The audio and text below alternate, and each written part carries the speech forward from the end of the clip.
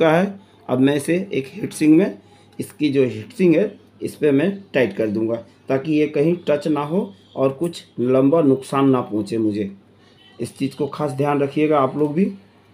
दोस्तों, वीडियो में अगर कुछ भूल चूक हो जाए तो हमें माफ़ कीजिएगा। मैं कोशिश कर रहा हूँ, जितनी अच्छी वीडियो हो, मैं आपको देने का।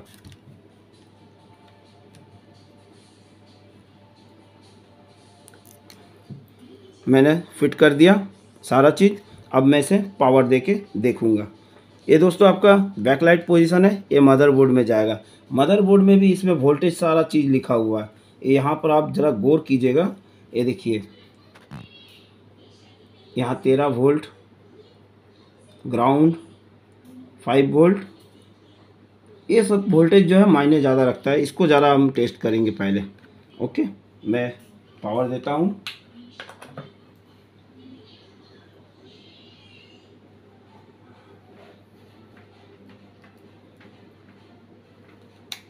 सेट कॉन कर दिया?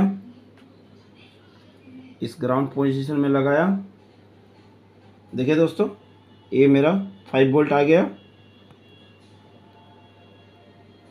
ये फोर्टी नाइन वोल्ट बैकलाइट के लिए। ये फोर्टीन वोल्ट मदरबोर्ड के लिए।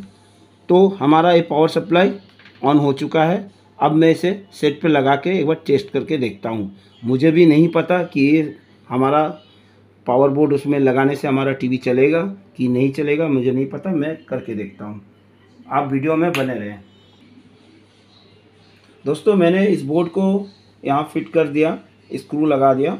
ये जो जैक खुला हुआ था, मैं दोनों जैक लगा दिया। सैमसंग में दो ही जैक ज़्यादा मिलता है दोस्तों, ये तो पहले का मॉडल में है। एक मदरबोर्ड का, एक बैकलाइट का। तो मैंने इसको फिट कर दिया। अब इसमें पावर डालकर मैं देखता हूँ मेरा टीवी चालू होता है कि नहीं। दोस्तों, लाल बत्ती जल चुकी है। आवाज़ भी आ गई है, देखता हूँ। अरे वाह तो टीवी चालू हो गया हमारा, देखिए। ओके, मैं इसमें अभी वीडियो सिग्नल डालूँगा तो हमारा पिक्चर आने लगेगा। ये पूरी तरह से डेड टीवी थी। ना पिक्चर का लाइट ना वगैरह कुछ भी नहीं था।